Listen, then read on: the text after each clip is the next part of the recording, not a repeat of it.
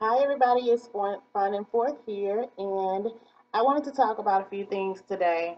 Yesterday, I went and viewed my classroom for the first time, and I'm a little bit worried because I bought all these nice things that goes with my theme, but um, I'm thinking that they may tell us because the classroom is totally new, the building is totally new, that we can't put anything on the walls.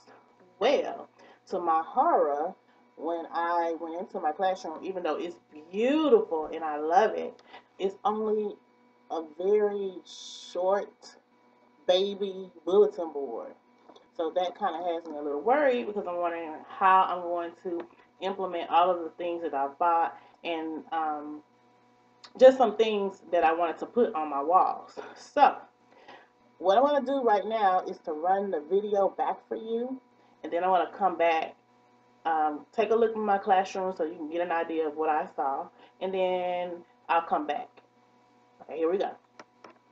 Okay, guys, I am here in the school to see my classroom for the first time, and I'm standing in my room.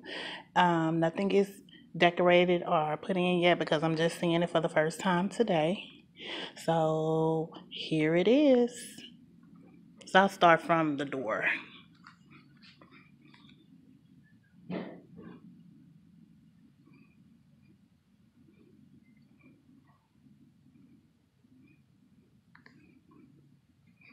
I love the new sink and I love the countertops.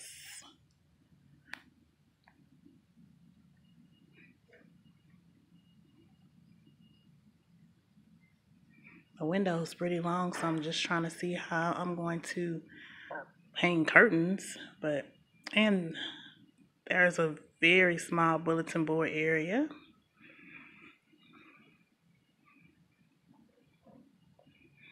Hmm. So I really have a lot to think about because I bought some things, but I bought a lot of things for the walls, and I'm not sure if we can put things on the wall. So that's something to think about. So I'm gonna sit in the room for a little bit, and I'll come back to you guys so I can talk about what I'm going to do to incorporate my thing into this classroom. Okay, so I'm back. So did you guys see how small that bulletin board was in my classroom? Um, now, last year, I'm totally grateful, by the way, because last year we had, we were on the outside and this year we're inside the building. So I'm totally grateful. My room is totally new and I am so grateful and very excited to actually get moved in. But my bulletin board is horribly small. So um, I'm only a second year teacher. Um, but last year, kind of, um, the school that I, at the school that I work at, the old building, I had sub there before, a long term sub there, so I knew how the classrooms were.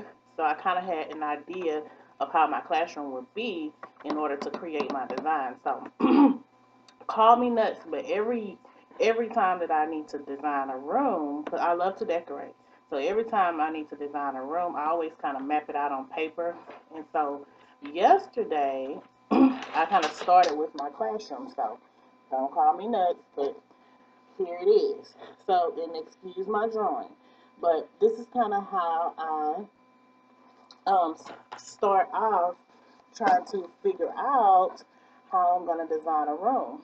So now I started doing some research and I looked online to get some ideas about how to um, put up borders or what some other ways because I've seen that A, there was a lot of closet space, um, cabinets, and I've seen on Pinterest and in other teachers' classrooms where they've had bulletin boards adhere to the closet door, which is an option.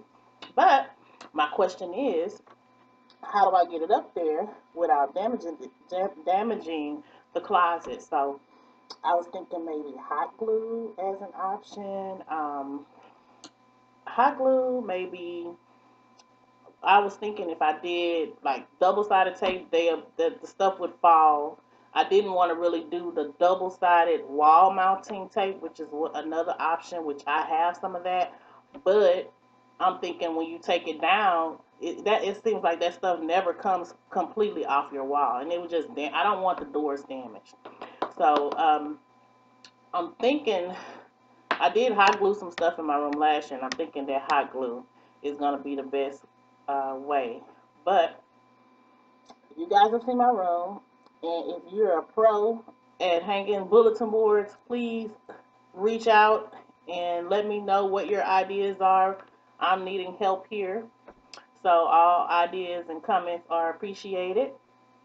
And don't forget to like and subscribe my video. and um, in my next video, I am going to talk about uh, classroom design and what you can do if you're a new teacher to kind of help you to uh, make sure that your classroom is cohesive because that's one of the things that I do. I really love um, decorating, and so I want to have my new classroom fabulous.